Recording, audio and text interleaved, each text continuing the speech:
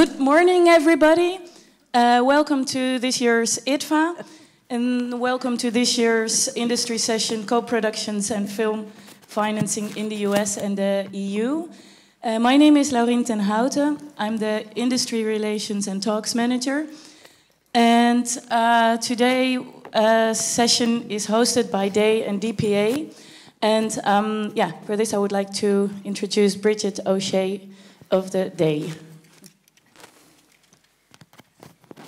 Good morning, and thank you for pronouncing my name so beautifully. After I did post on Facebook complaining that the only place in Europe that pronounces it correctly is the very small nation of Ireland. So thank you so much also to also yeah, shout out to my Irish colleagues. I have been adopted. Um, but uh, thank you so much to IDFA for having us. So just to stand, maybe if you can see me here in the lights, my name is Bridget O'Shea, and I'm one of the co-directors and co-founders of the Documentary Association of Europe. We are a new association that is open for all professionals across the non-fiction storytelling fields, from independent producers and editors and sound designers all the way to institutions like IDFA, one of also our first members. Um, we founded in February of 2020, but we've already grown to more than 450 people. We will have a more general information session on um, what we do and who we are on Tuesday at 12 here in De Brache so thank you very much for that. Um, and basically, we do three things, which is um, creating a community of like minded professionals who are looking for collaboration partners and who uh, need to work outside of their national context. The second thing is that we're um, curating and collating resources and um, other kinds of tools that we need inside of the industry, which is something that this session is going to address today. And then thirdly, we're an advocacy and lobbying group trying to fight for the best conditions for documentary filmmaking um, and financing and distribution across the continent of Europe. Uh, interestingly enough, we don't care where you come from or where you live. We are open to members from across the world. Uh, but if you think that you need to shape and be involved in the European industry, then we'd love to welcome you as members. This group, and thanks also to the DPA, one of our partners, is a, this session today is a group or a joint venture between our two associations and also a sneak peek into a working group that is happening at the moment between the continent of Europe and the continent of North America, which is looking to better define guidelines for good co productions and good collaboration between the two continents when we don't share treaties. And so, with that very long winded introduction, I would love to give the word over to Tracy Holder from the DPA to also introduce the DPA and what you do and who you are. So thank you, Lorraine. Thanks, Bridget. Um, hi, everybody. I'm Tracy Holder. I'm thrilled to be here. I see old friends and hopefully new ones in the audience. Um, as Bridget said, um, I'm, as you can probably tell from my accent, I'm from North America, from New York, a separate country from the USA. Um, and uh, um, and um, the Documentary Producers Alliance uh, is a relatively new organization as well. And actually, my colleague uh, Ina Fichman, who has a film premiering here at IDFA, will tell you a little bit more. And then we'll turn it over to our illustrious moderator, uh, Darren uh, Walford, uh, a UK based producer. So I'll be um, quite brief. Uh, the DPA, which is the Documentary Producers Alliance, um, we have about 300 members worldwide, primarily in North America and primarily in the United States. And the group was founded in 2016 with the view of representing documentary producers in the conversation about you know what is our role and how do we make our community of producers more sustainable and equitable and that's really the focus of the DPA I sit on what's called the interim board because we were going to be electing a new board in the new year. And we've been very active for the last four years. We've established two very important guidelines. One are the crediting guidelines, and the other are the waterfall guidelines. And I know I'm a Canadian, and I know that in Canada and in Europe, there's no, there isn't as much of a tendency to have equity in your projects. But of course, in the United States, it is. You know, many, many documentaries have private financing. So, you know, how, how do you recoup? And also always representing the voice and the rights of the producers. And um, I think what's interesting about the work of the DPA and and and your work as well is that I, what I feel as a Canadian is I fall sort of in the middle. We're looking for business models and ways of collaboration that encompass all these various financing and creative endeavors. So I, this is a really exciting moment for, for both of our associations to be able to do a deep dive into how can we make this work worldwide. I've done a lot of treaty co-productions, but in the last few years I've been doing non-treaty, for lack of a better word, uh, uh, productions, but co-productions in the sense that there's been true collaboration between all of the partners. So on, on that note, I'd like to say that you know the DPA is open to documentary producers worldwide, and we'd love it if you joined us because we feel that creating a sustainable industry is really key, not just for ourselves as producers and entrepreneurs, but also for all of the creative people that we work with. Can I Thank just you. add one more thing? Uh, just very quickly, um, well said. And um, we are we have an international uh, subcommittee. There are many different committees within the Documentary Producers Alliance, and Christian Popp, one of uh, my panelists to the left, uh, and I are on that international committee, and we're currently working on a toolkit which will help explain sort of the logistics of co-productions, both from a North American perspective and from a uh, a European or non-American perspective. Um, and it's not yet done, it's in the works, but it's something that we're hoping will be a useful uh, resource for everyone to help sort of pull back the curtain and demystify the process, whether you're on this side of the Atlantic or on our side of the Atlantic. And part of the panel today is talking about some of the mechanics that will be in that toolkit, which will be a bit more robust than what we have time to cover today. Mr. Moderator. Thank you very much. Uh, I'll just briefly explain what the two sessions are about. So the first hour will focus on sources of documentary funding in North America and how those compare to funding models in Europe. We'll also be discussing how those models can complement each other and other territories. And then in the second hour, we'll devote to some specific case studies of co-productions and how the funding landscape is changing. And I have a little bit that I wrote in bold because it's important for me to remember to say this. So it's important to stress that this isn't just about co-productions with and about people in North America and Europe. It's a discussion about the world of co-productions from different perspectives and how best to make the most of those opportunities to partner up from any country and from any background. Uh, and uh, we'll have some concrete uh, uh, slides about how you can get that funding, particularly in North America, uh, later on. Uh, and we've got a lot to pack in, but we will absolutely try and make some time for questions at the end of each session. And so before we start, I should just introduce our panel. And so uh, for, to my left is Tracy. So do you want to say a few words about yourself? And then we'll go around the room. Sure. Um, again, I'm Tracy Holder. Um, I work both in the industry, but I'm also a filmmaker. Um, I spent a, nearly a decade as a consultant to Women Make Movies, the world's largest uh, distributor of films by and about women. But while I was there, I worked with filmmakers in all stages of production and for reasons I can't fully explain, I've had a lot of success raising grant money for my films. And I've sort of become the grant whisperer, helping uh, explain to, uh, to filmmakers, both in the US but also abroad, how to, our process of accessing funding primarily uh, grant funding from the US. There are a lot of American funders who are interested in non American films, but the system is so different outside of the US that a lot of non American filmmakers don't understand how they can have access to our funds. And so I do a lot of workshops explaining that. So that's me. Thank you. Jia? Hi, uh, good morning. This is Jia Zhao, and I'm a Chinese Dutch producer based in Amsterdam. Uh, I think maybe partly due to my Asian cultural background, I tend to have a bit of a non-European taste when it comes to uh, film production. That also means that I will have to go a long way to get things somehow financed. So, well, there are several examples at this IDFA that uh, one of them will go in premiere tonight. It's actually like really a patchwork just to get this finance called a Marble Travelogue. A lot of co-productions over there. So, yeah, if you have chance, uh, you can go to have a look. It's like uh, from the east and west, everything together to get this done. What's the name of your film that's premiering today? Oh, uh, Marble Travelogue. Yeah, but there are several others like uh, Zhao Liang's uh, I'm So Sorry. It's also example that you really kind of have to, you know, do co-production to make this happen. Yeah, so that's Thank it. you. Ina? I'm Ina Fichman, and I'm a producer based in Montreal.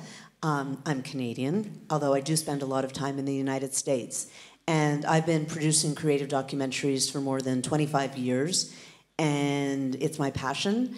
And it's also something that I've realized is important for the sustainability of my company and for myself personally to figure out ways of producing and co-producing that make sense in the current environment. And i think there are a lot of opportunities. I've raised money i've done many treaty co-productions because canada is really well known from that co-produced considerably with, with france with israel with germany um, but I've also done many projects in the United States, and I'm at a point now where I'm realizing that it's really important to bring these systems together. It can be very exciting, and not just to bring them together on a financial level, but also on a creative level. And that's what drives me is creative, working with wonderful directors and writers and teams around the world. So I've been very privileged, and I hope to be able to continue to do that. I'm very excited for this conversation.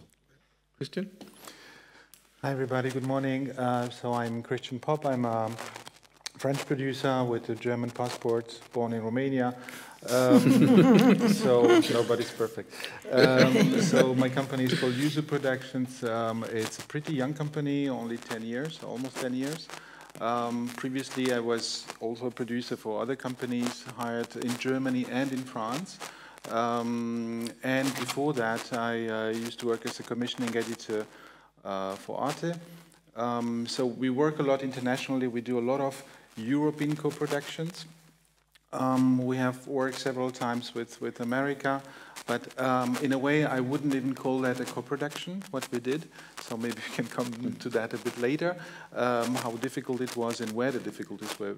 were. Uh, a lot actually in in a mutual understanding to find a com or the, the, the, failure in a way to find a common language on, on several topics. So, and this is why I'm so interested as well to be in this working group and, and create this, uh, this tool kit actually for better collaborations uh, between the two territories. Yeah, Thank you. Um, so obviously we're talking about co-production, the ways in which we can work together, but there are some distinct uh, differences. And I know you mentioned that you know, private equity is a particular uh, characteristic of working in North America. Can you and Tracy just tell us a little bit more about, about how that works for people that may not know? Well, as I, as I said before, you know, as a Canadian producer, we're not used to that model.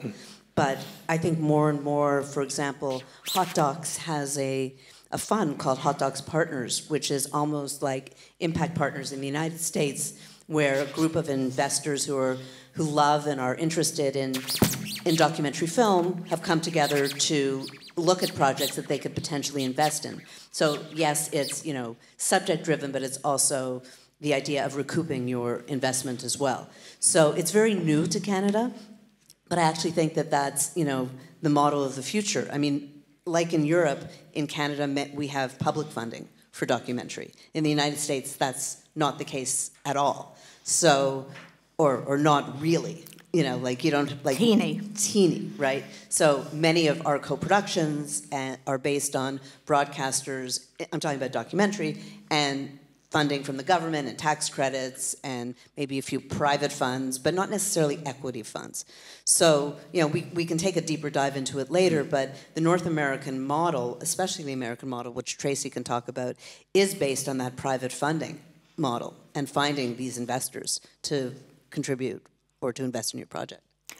Yeah, I mean, it's a really shifting landscape. Um, and in the past, I'd say decade, all of a sudden a bunch, you know, we'll call it equity, wealthy people uh, have uh, documentaries become sexy. And uh, I th my theory is also after uh, Al Gore did Inconvenient Truth, that you had a bunch of, you know, the environmental movement was trying to shift the conversation around climate change and nothing they were doing was really moving the conversation forward. And Gore does this film, and all of a sudden, for a brief moment in the United States, people believed that climate change was real. And I think as a result of that, a lot of wealthy activists realized the power of documentary to put a human face on a lot of wonkish, abstract issues and help galvanize public sentiment around issues. And as a result, a lot of private money came into documentary, which in theory is very good. Um, but on the other hand, what has also happened is that now you have a lot of wealthy investors. They literally are, it's like a commodity. And, um, and they are either driven by having some social purpose or wanting to make impact or wanting to stand on the stage and get an Academy Award. Or they, but they, what they all have in common, as Ina said, is that they really want these to be profitable and market driven. you said that they, uh, they've entered into the documentary world. But but where are they? Like are they like are they at IDFA? Like do you how do you bump into Sundance. how do you bump into Yeah. a really nice wealthy, Wealthy investor? person. Yeah. Yeah, well, you have to sleep around effectively. that would be one, one strategy, one I've not yet quite accomplished. But, but there are organizations like Impact Partners was the first in the space, and it's a bunch of wealthy people, and uh, they do they have somebody. The executive director does financial analysis, is always surveying the landscape, trying to see what is being produced. And then looks, does a business plan, and if they think it is a viable film that has commercial potential, they then will reach out to the filmmaker, or the filmmaker can go to places like IDFA, get on the radar screen. There are, there's the forum um, at, at Hot Docs, there's um, Indie Film Week Gotham runs in New York, there are Sundance Catalyst, there are lots of places where you can get on the radar screen of the industry. Um, and then if you, if they vet you and you meet with them and you are willing to take equity, and not all of us are totally on board with that, then you do a dog and pony show for the for the board of the organization. And with impact partners, it's each investor can decide how much of their investment they would want to put into your production. What the downs so there are And when you say investor and Yes. an amount, what kind of amount are you talking about?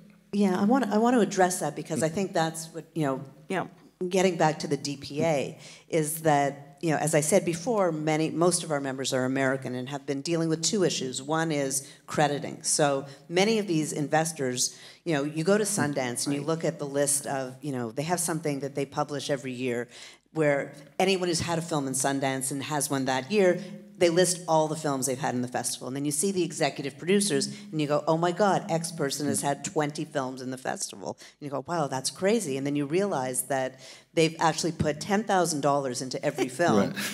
Uh, You know, because as soon as someone hears that you've gotten into Sundance, they want to jump on board. So one of the things the DPA has been dealing with is in our crediting guidelines saying, whoa, you know, producers are producers, meaning we're the ones from beginning to end who are shepherding, taking the risk, working with the creatives to make the film the best it can be. And we don't want investors to come in and take a credit which is really not appropriate to the work they've put in the film. So in the United States, this has been a big issue, and this is why some producers have been reluctant to go into this is because they're like, wow, like someone's going to put $20,000 in my film and take a producer credit? I don't think so. So on the one hand, you have that part of the work that the DPA has been doing, and then the other part, which, you know, again, in Canada and Europe, we're not quite used to, is this notion of the waterfall, which is really how does an investor recoup his or her money? And these are really important tools that if you go on the DPA website you can read because it will help you understand how a private investor because you know it's not free money. You know unlike grants it's not free money. And and and people do expect to recoup because impact partners Hot Docs partners chicago media group they all people individuals involved are hoping to not just get their money back they're not hoping to get rich, but they're hoping to take that money and put it into other films. So many impact partners and Hot Docs partners, you know, yes, they might put some money in their own pockets, but ultimately they want this money to go back into the system. Sorry to be so long-winded, but you know, in the waterfall guidelines, you'll see again how do we protect ourselves as filmmakers and producers so that we are not working for free either. So you know you don't want to get into a relationship where the invest you haven't gotten paid and your investors recouping. So take a look at that because these are complex relationships if you've never done it before. Okay. Just maybe one note about uh, waterfall, even the term. I mean, I, I, heard it for the first time like four years ago, and uh, I imagined a waterfall. um, so because I, I, I, I, wasn't uh, aware of this. Um, so basically, this is the question: who is paid first and who is paid second? You know, from the revenues. And it's it's indeed we are not used to that in Europe, but nevertheless, there is a waterfall also uh, with some funders. Uh, public funders where you it's it's not a grant but it's an um, advance you know on recipes, they say, avance sur recette in France. So, or authors, they are in the waterfall as well with the percentage of revenue. So, and uh, um, a big one of the big questions is also how to match the two waterfalls of private equity, of private investors who want to be first, um, and uh, other public or private um, uh, funds in uh, in Europe. Mm -hmm. I just want to clarify one thing before we move on, just to, uh, about equity. So it is still a very small percentage in the United States. It's gaining popularity, it's becoming big, but I think DPA determined it's like less than 20% of our members who have dealt with equity. So on the on the negative side is that these are investors, they're looking for market-driven films generally, and they want it's roughly 15% above their investment but they get paid back before anybody on the film team does. And that has been the part that I have found problematic. On the other hand, they have relationships that most of us don't have. And they can open doors and they can get distribution deals that, you know, certainly the likes of me can't get. But if they put money in, they then have to approve any distribution deals. I'm no longer free to just distribute the film as I see fit. So there are positives and negatives, um, but it, and it's a shifting landscape, and it's just becoming a bigger and bigger part of the puzzle. Okay, um, so let's move back to Europe uh, and look at another difference. Uh, let's talk about regional funds. Christian, do you want to just kick, kick that conversation off. Look, I'm from the UK, so we don't have that much you know, private equity access. We certainly don't have anything like sort of a regional funding model. So for people that may not be aware of how that works, how does how is that quite distinctive to this part of the world? Um, well, what you mean by regional funds is more actually the national mm. uh, funding. Well, well I, I guess it's a bit of both, isn't it? Inside each nation, yeah. or most of them, so you have also regional funds. Um, so, but maybe one step before that, so I would say that the European co-production or production model is um, is more public than private. So there is no private equity or very little is coming in now. Um, so, and is it, these are subsidies basically that we get. So either it's of course licenses from, from broadcasters, uh, and if not, they are public subsidies coming through uh, film institutions, established film institutions, and they work necessarily on the national level or uh, regionally, you know, uh, to sustain and to promote and to strengthen their local industry, their national industry. So uh, they are very competitive, obviously. Some grants are automatic, like in France, you have an automatic TV fund at some conditions, but most of them are selective.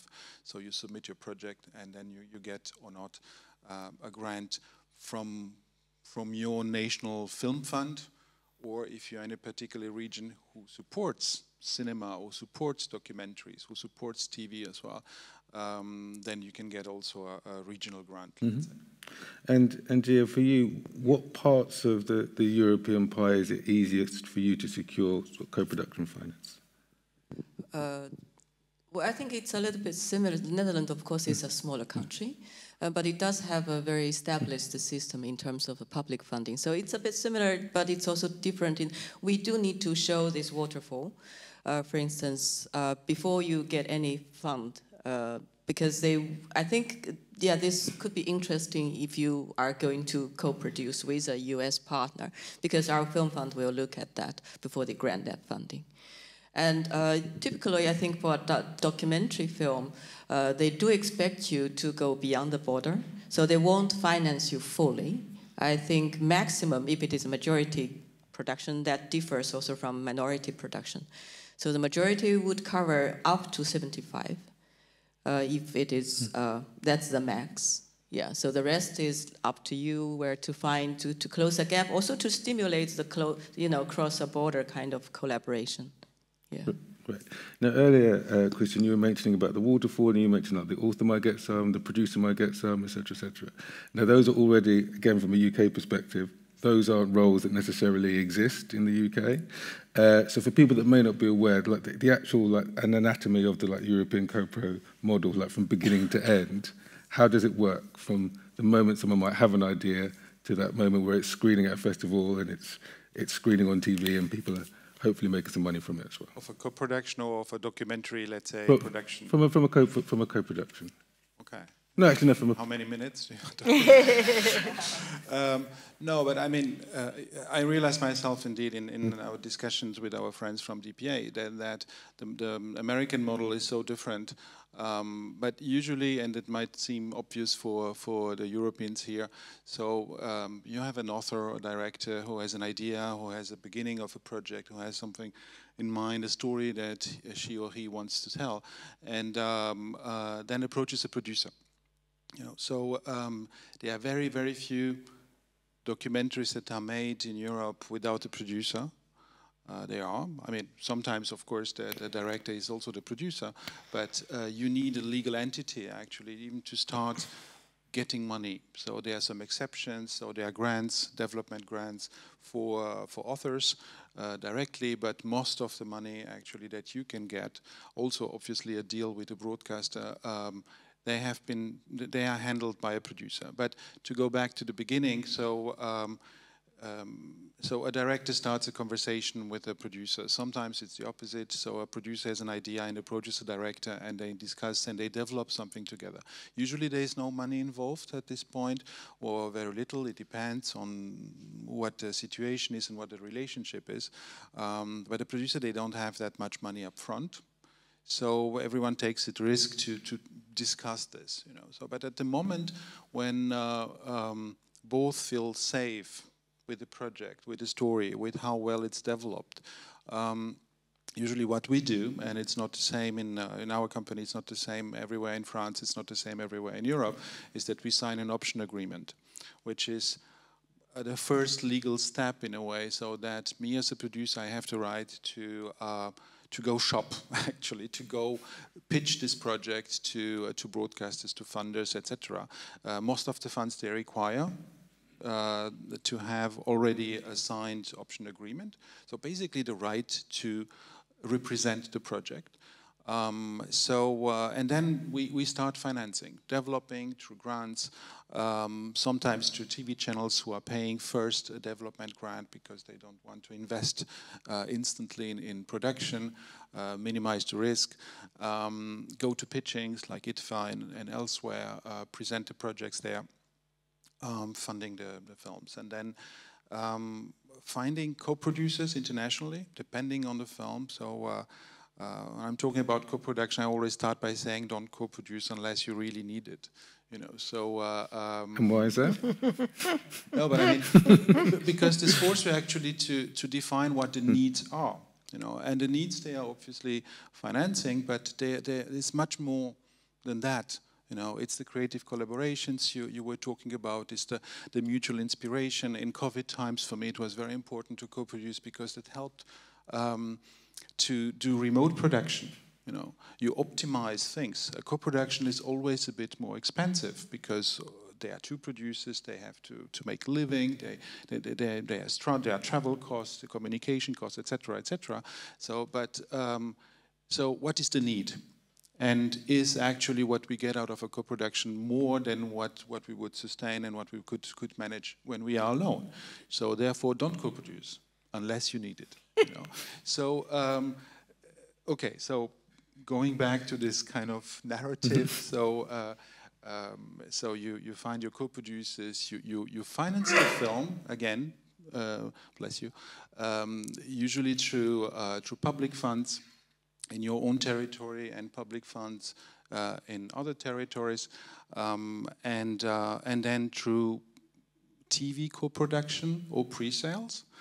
So meaning that you try this principle of territory, ter territoriality, which it has ruled our industry for years and years and now is challenged by the streamers, uh, it's still in place that I pitched this project to a French broadcaster and then to a Dutch broadcaster and then to a Canadian broadcaster, etc., etc. And I, they secure the territories and give me money for this license. Um, and this is the, my production budget. And at some point, of course, we have already a budget and a financing plan in place. We say, okay, we have enough money to make the film. It's, it never happened to me that it was 100%.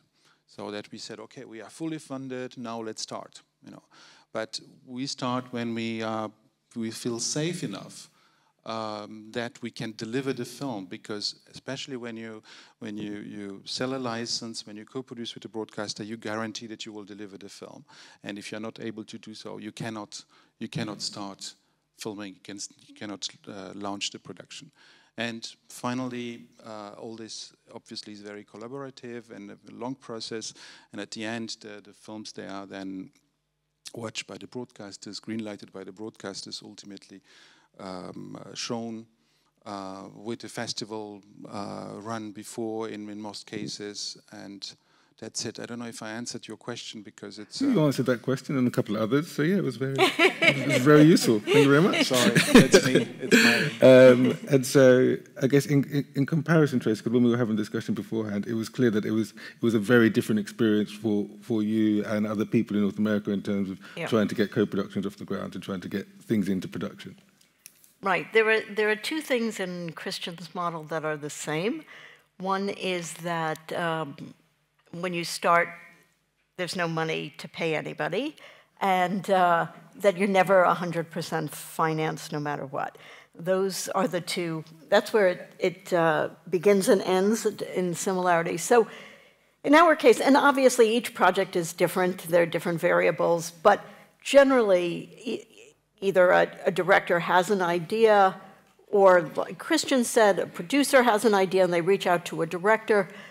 But then it really is on that team or that individual. Like I, against all better judgment, have just started my own new film, and um, I, I'm doing everything. I'm my producer, and I'm the messenger. I'm the director. You know, there's nothing that I don't do.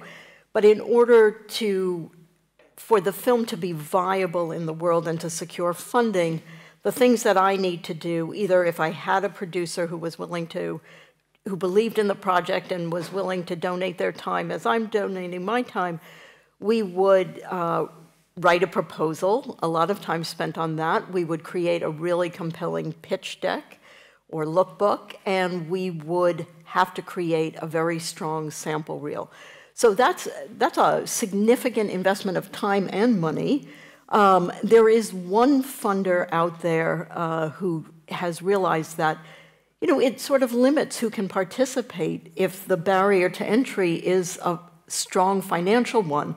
You know, not everybody is in a position to be able to make that financial sacrifice.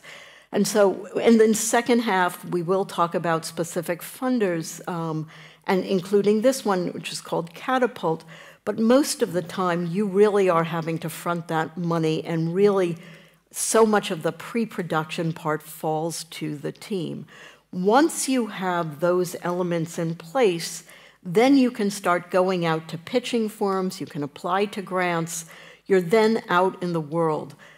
Um, I generally like to start with grants, and I think most people start with grants because those are non recoupable funds, right? A grant is made by a so, foundation. So, so, free money?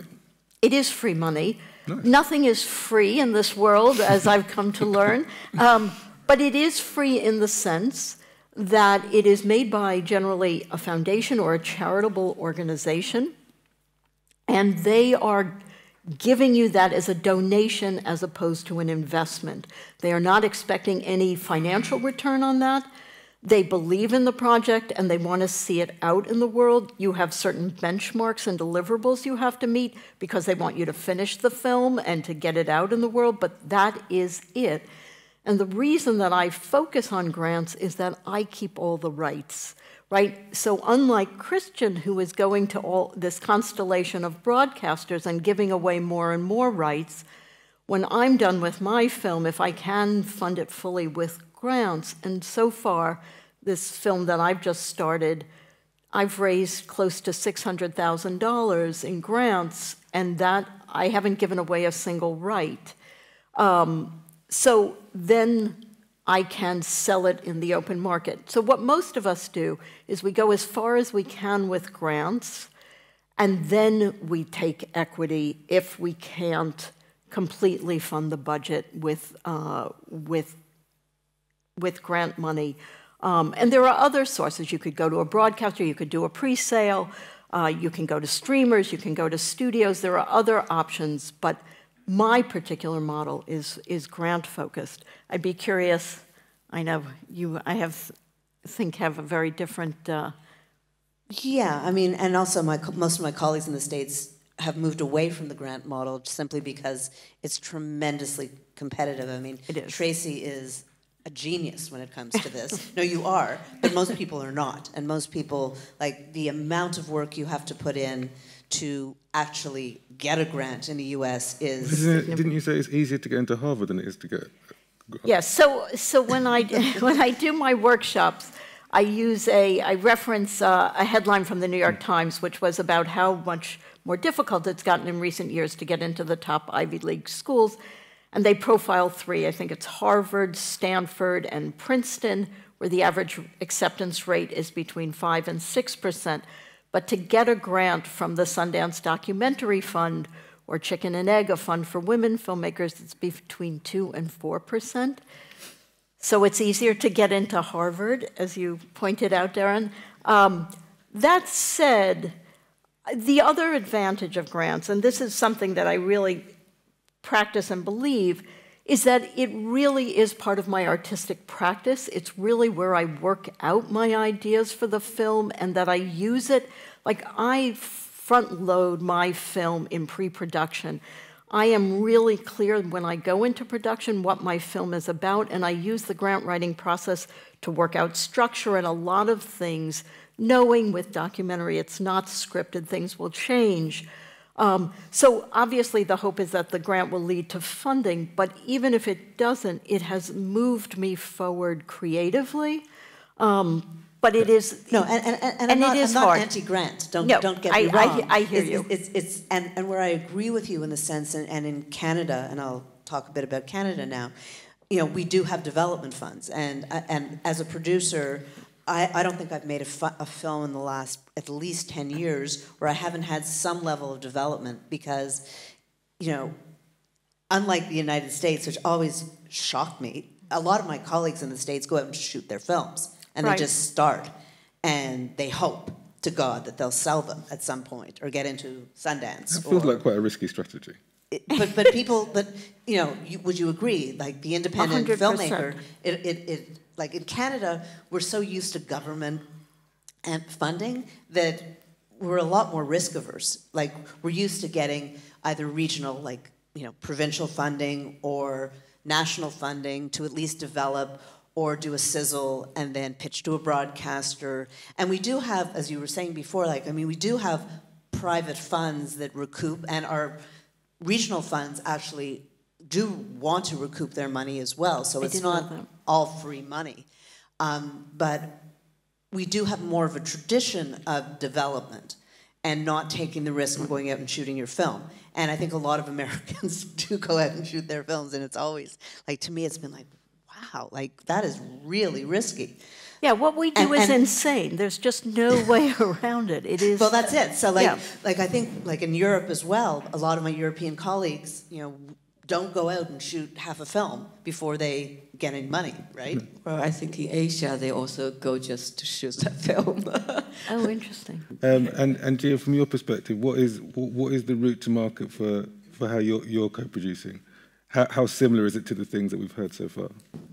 Uh, I think Christian is more uh, deeply rooted uh, into, of course, this European landscape, which is very much public broadcaster driven and maybe streamer is coming in, but not yet uh, that much present. as an Asian producer, I think I do see the upcoming of the streamers from Asia.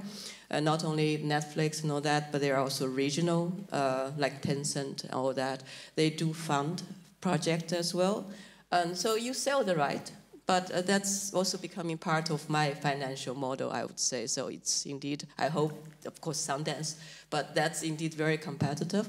And I also use European fund uh, when, but I don't use that much of pre-sale if it's not needed. As said earlier, I don't want it to split them already before it's get made. Mm-hmm. And also, I guess it's also will influence the making process of the film because you will have to kind of satisfy all kind of needs when it comes to the editorial input.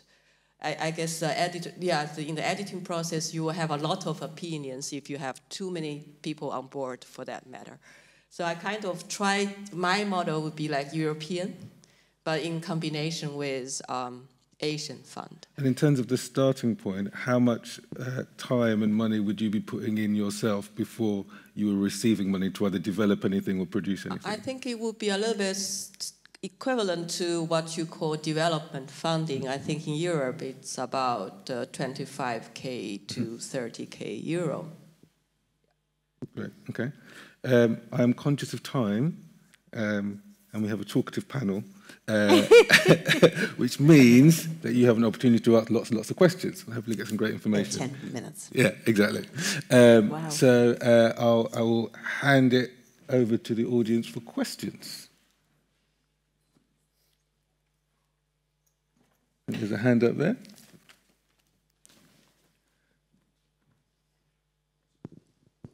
Good morning. Uh, question is to Tracy. You, you spoke about uh, a sample reel so that the funders or the powers that be right. get a sense of your directorial approach. Um, is that an alternative to having a short documentary, so a short version of the documentary conceptually, put that out to the world, get it run in festivals, you have a name, it's your business card, and then that's a proof of success, then you develop or go further into the feature-long documentary. Which one, which side do you side with? So most, since I focus on grants, grants require that you have a previously completed work as well as some proof of concept of the new work. So that can either be a trailer, the one I'm seeing is increasingly funders want to see more sample scenes. I think they want to see is this a character I'd want to spend time with? Is there an emotional arc to the film? Um, so I encourage people, and in my own work, am really focusing more on um, on having something that sort of brings them into the film. A lot of people make short docs and then they want to make them into features. And one of the big questions that comes up on panels is that short film was fantastic what more do I need? And I think people have to be very careful about that because that's generally like, this was great, and do I need more? So I hope that answers. I mean, I'm a big believer in whatever you want to call it a sizzle reel, a demo, a proof of concept, because any buyer or most buyers today want to see that. And if you, you know, whether you're pitching at a at IDFA or Hot Docs, you have to do that work or or or anywhere else. And I think it's really an important process for a creative team to go through to help understand what your film is and the storytelling, the characters, and even if it costs you ten thousand dollars or you know ten thousand euros, I think it's money well spent. Um, you know, in, you know, I, I, think there's more of a tradition, or there has been in Europe and to a certain extent in Canada, to write very detailed treatments. But now I think a deck, which is a combination of a visual presentation with some words on paper that actually explain your project and a sizzle. well, I mean, you know, it's not just pictures, right. in other words, which, which is nice, but, you know, something that people can scroll through it and you know, whether you use Adobe or another one of these programs so that you can just, it, it actually is a very immersive, it can be a very immersive piece. And, and a sizzle reel or a demo mm-hmm. is what most, most buyers are expecting today. And they, it, you can have made 10 feature docs but you come on this new project or five, maybe not 10, but let's say you've directed three or four feature documentaries or even a short film, nobody will say, hey, that's enough. They want to understand what that film Yeah, is. completely. So uh, for me, I'm a, a passionate believer in spending the time, a small amount of money, it's really worth it. And Jia and Christian, are you finding the same in terms of needing to have some video Yeah, material same just to get people on board? Yeah, I think the same. I always uh, encourage the author to make it, if it is not that much yet, just find the most related one to show so that people could feel you. I think then you are talking. Yeah. Well, More than in. France, writing is still extremely important. Writing long proposals. Uh, Yes. yeah, no, I mean, Yeah. maybe it's the literary tradition, I don't know. um, I, I love literature, so in that sense, I, I, I encourage that too. But uh, indeed, having a trailer, a teaser, visual material about the project, about your characters, um, it becomes almost compulsory. Yeah. Right. Any other questions? Uh, hello. Um, my question is in, in the proposal. Um, it's it's not a specific question, but an, an, an inquiry in an area. Uh, the director's statement. Um, what do you ex- like as producers, as broadcasters? What do you expect in, to be written there? What are the things that oh, when you read it, oh, this is this is good, this is appealing. Um, because I see that in a lot of grants. Especially now, why are you the one who should be making this film? And I think that, you know, maybe two, three years ago it wasn't as important, but absolutely right now, you know, you know, given the, the climate and the fact that we want to respect the provenance of stories, um, why are you the one who should be telling this story? I think is really, at least from a directorial point of view, is Well, uh, essential. Actually, in, in France, we separated between author's note uh, or not of an intention and a director's note. So it's the why, you, and why this film now, and how. You know, the director's note, I mean, in our definition is more kind of how you will make the film. What are the means that you will use? Will you use music? How you will use music, etc. You know, so it, it's a mixture of both. But the, the why is more important because you have a, a visual material to show already. So I, Jia? your your intention, your, why, It's a your motivation, approach. your motivation. And also your creative approach, right? Like how you're going to tell the story. I think some of the fund, um, also including the Dutch fund, will require you to know what you, how you artistically would like to approach this. So this is next to this motivation. You know, you note motivation. I think the director's notes. You need to know what you wanted to do, how you want to do, but also why it's you indeed that's going to do this. So it's like personal plus professional. I would call it. For Sundance, I think you need to write this topic summary. Yes, um, well, which is about relevance, right? Why do we need this film now? Um, but one of the things I'd encourage everyone, whatever you're writing, is you know we are all in the fishbowl of what our needs are. We you know we need to pay our rent, or we have a subject who's elderly and we need to get to it now, or something's timely. And funders are outside the fishbowl looking in. And so the important thing is to step outside and to know what their needs are. And what your proposal is, or anything that you're writing, is making the case as to why your project aligns with their mission, how you're serving their needs, not how they're serving your needs. And in terms of the director's statement or why you, you know, at this moment of racial reckoning in particular, and certainly in the United States, this is front and center, people want to know if you're covering another community. Why do you feel that it is appropriate for you as a somebody outside of a community to go inside? Now it's a moment where there's authenticity is really important and access is important. And so addressing those questions is really key.